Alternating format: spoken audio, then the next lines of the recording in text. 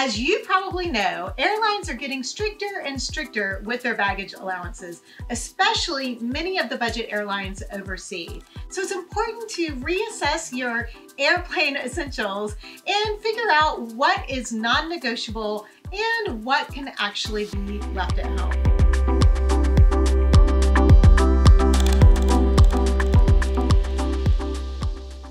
On me today, I am wearing or carrying all of those items that I have deemed for myself to be non-negotiable airplane essentials. Now, you'll notice that I'm utilizing a couple of those travel hacks in order to get these items on me. For one, I am wearing a jacket with multiple pockets. I love this cargo jacket and I can't tell you how happy I am that everything cargo is coming back into style this year. I've got four pockets here, plus these little pockets up here that I'm actually not even using for anything right now. I've used this scarf to kind of disguise the fact that I have a very full fanny pack tucked up under my arm inside this jacket. Hopefully able to sneak by that airline attendant and not get charged the extra fee for having an extra bag. Now for today's demonstration, I am wearing my smaller fanny pack tucked up under here in the jacket, which I'll show you in just a second. But in reality, I would probably use this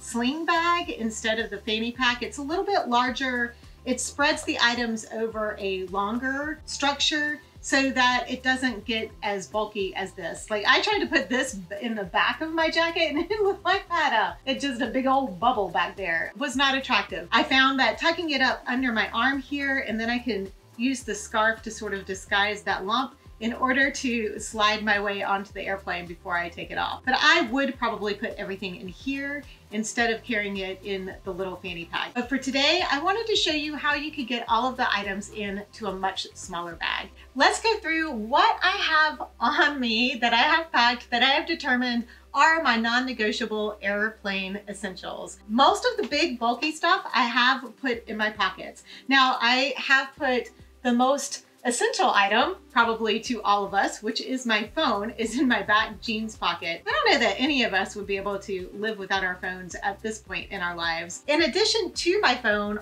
on my phone is a new phone wallet case that I just recently got. And if you missed my Amazon's new travel finds video that I did last week, I will have it linked in the description below. This wallet case also acts as a stand. It's got a little kickstand here so I could watch movies or YouTube videos during the flight if I want to. The next thing I have in my pocket, because if I'm gonna be watching videos, I need to have earbuds. So I have my earbuds in one of my pockets here because again, it's a little too bulky to put in the fanny pack. The next thing I have is a collapsible water bottle because my regular water bottle is so big and bulky and it takes up so much room especially if you have that limited space in those tight little budget airlines. This collapsible water bottle I think it collapses down to the smallest water bottle I've ever seen. It pops open pretty easily. So just pull it up like that.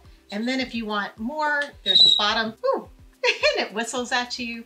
so you have a nice size little water bottle here. And then when you're all done, you just smush it all back up and it's small again. Probably one of the coolest collapsible water bottles I've ever seen. For more entertainment, I have my Kindle because I don't travel anywhere without my Kindle. I just I just love getting into a good book when I'm flying. And the last thing in my pockets is something that's a little unusual and something I haven't really talked about before. When you're traveling minimal minimalistically, it's hard to say. When you're traveling minimalistically, you start to look for other options. This is actually a toddler pillowcase that has a zipper. So if I want to have a pillow and I get tired and I really do want to take a nap on the plane, I can just take this pillowcase and I can take my jacket and fold it up and maybe other pieces of clothing that I have packed in my backpack and I can put them in the pillowcase and then just create a pillow that I can rest my head on against the window. Because it's so small and light, it doesn't take up hardly any room. A new little hack, well, it's not really a new hack, but it's a hack that I decided to look further into, especially for minimalist traveling. Now let's move on to the fanny pack. Like I said before, I wear the scarf. I love wearing a scarf on a plane anyway because it gives an extra layer if you need it. But in this case, it also does a really good job of disguising the strap going across my neck. So now that we have emptied out the jacket, we will take the jacket off and I do have a sweater on underneath this. all the layers, all the layers, ladies, because that's what we need when we're traveling, right? So here is my fanny pack and it, it is packed a little full. I'm gonna start with the outer pocket. This fanny pack only has two pockets and it's a, it's a pretty small fanny pack. In fact, I'll put the measurements up here so you know the exact size, but you can see I'm not a very big person and it's it's still pretty small on my chest here. So in this front pocket, I tried to put the things that I would want to have a little more readily accessible. I mean, it's gonna be easy to get into this whole thing anyway. These are the things that I'd want kind of straight off the top. First off, I have these little hand sanitizer packets that I actually picked up at the dollar store. So they're individual little packets, which I'm not thrilled about the extra plastic. But again, when you're choosing to travel minimally, you kind of have to make some sacrifices. Next, I have my earplugs. If I don't have my earbuds in listening to a video or a podcast or something, it is really, really nice to have some earplugs, especially if you end up with screaming babies on that plane. You know what I'm talking about. One of my biggest necessities, and that is a little pack of Kleenex. Again, I got these at the dollar store. I think there's probably only like 10 in there, it's enough to get me through a plane flight for sure. These next two items are really important for fresh breath and if you have issues with your ears popping when you fly. So I have a little pack of gum. Orbit is my favorite gum and I really like the peppermint. And spearmint peppermint flavors will also help if you start to get a little nauseous while you're flying. So I also have the mint. So one of these two, if you're flying and you start to get a little air sick, you might want to take a mint or start chewing on some peppermint or spearmint, spearmint, spearmint gum, and that might help settle your tummy. Let's see, I feel like it's Christmas and I'm like opening my stocking. Continuing on the whole idea of keeping your mouth fresh, I have a couple of little disposable toothbrushes and the little plaque cleaner toothpicky type things. Got both of these at the dollar store as well. So these are really nice if you eat something on the plane and you want to be able to clean your teeth or you just feel like you need more of a freshen up than the gum or the mint is going to give you. It's nice to have these. Next in here is something that I keep on hand because I used to bite my nails all the time. Like until I was in my early 30s, I would bite my nails down to the quick. And then I started letting them grow out. And once they got grown out, I really like to take good care of them. And I can't stand if they get caught on something and I get a snag. So I always, always, always have a nail file with me. So I picked up a couple of little tiny ones that I could throw in there and have just in case I broke a nail or got snagged because when you're traveling, you never know what's going to happen. And lastly, in this front pocket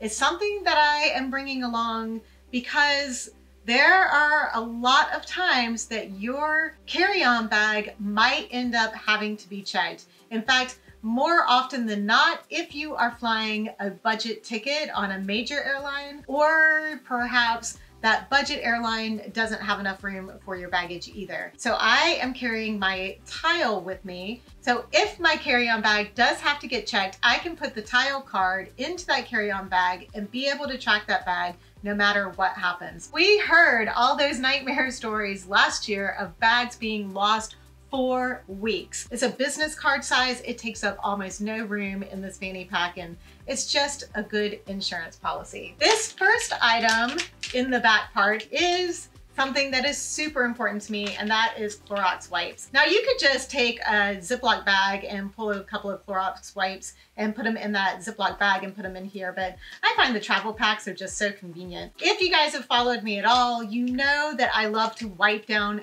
everything around me in the airplane before I sit down for my flight. I was doing this long before we had the issues with COVID. It's just a nice way to make sure that you're not going to get sick on whatever trip that you're going on and that everything is kind of clean around you, right? in here as well, I have had a lot of people say that one of their most important items that they want to bring on the flight with them is lotion. Well, Regular lotion is a liquid, so you would have to have that in your liquids bag and then kind of move it around if you wanted to have it in your personal item or on you while you're flying. The first time I found one of these was probably three or four years ago and I I used it up and I've never gotten a replacement because they're kind of hard to find, although I did find this on Amazon. It is this solid lotion and this one's honeysuckle and oh my gosh, it smells so good. But it's a little bar like that and you just take it out like you would a bar of soap and you rub it on your hands or wherever else that you feel like you need to have lotion. I do have some hot spots on the palms of my hands that have just stayed dry all the time. So I do like to have this type of lotion when I'm traveling because I don't have to worry about it being in my liquids bag or not. I can just throw it in my personal item bag and we are good to go. Another very non-negotiable item when I'm traveling is a power bank. I have my little Anker power bank in here and I have my new cable that I also talked about in that video I did last week that has the three charging heads on here. So I can charge any of the items that I have with me. My headphones, my phone, and my Kindle can all be charged from this one cable. I just have that all tucked in with my power bank here. It is not one of the power banks that has been recalled. I've actually had this for quite a few years. Last but definitely not least are those important airplane snacks. But these two cheese sticks and bag of nuts is the bare minimum that I would pack to take on the plane. If you're looking for some suggestions on how to kind of level up your airplane snacks, I have a video over here that you should watch next. I hope you guys have an amazing day and I look forward to seeing you in the next video.